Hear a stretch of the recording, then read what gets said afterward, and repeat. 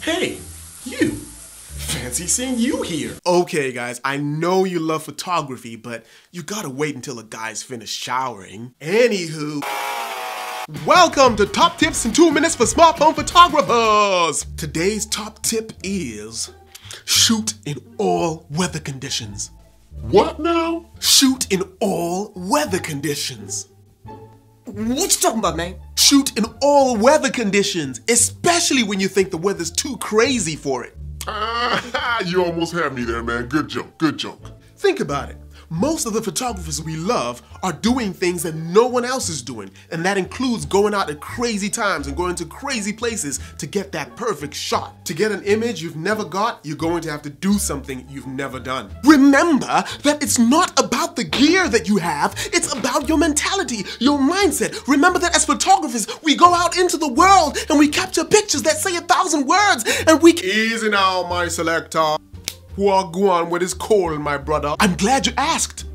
Brother, when it's wintry, imagine the lovely soft filtered light. Imagine menacing looming gray clouds. Imagine the moody wintry vibe. Yeah, yeah, mate. But what about when it's windy, geezer? when it's windy, can you imagine the motion blur? Can you imagine freezing the leaves in midair? Can you imagine hair blowing wildly in the wind? Pull up, pull up, hold up, man. But when it's raining, though.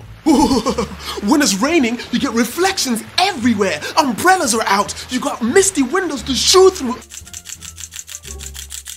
Eh, if you will allow me, suppose it is midday in an equatorial climate, and the sun is beating down harshly upon everything below.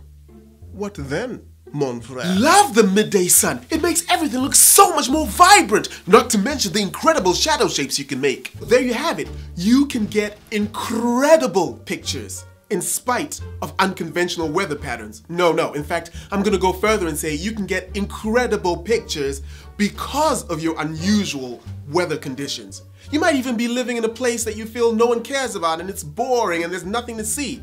But always remember that what is mundane and boring and normal and everyday to you is exotic and magical for someone else. So that's today's lesson. Get unusual pictures. Go out there in unusual conditions and see if you don't get something really amazing. It's not how good you are, it's how great you're becoming. If any of that was useful to you, definitely subscribe, leave me some comments down below, and share this video with someone else who might find it interesting. I am Visual Magpie on all social media, and until next time, take care.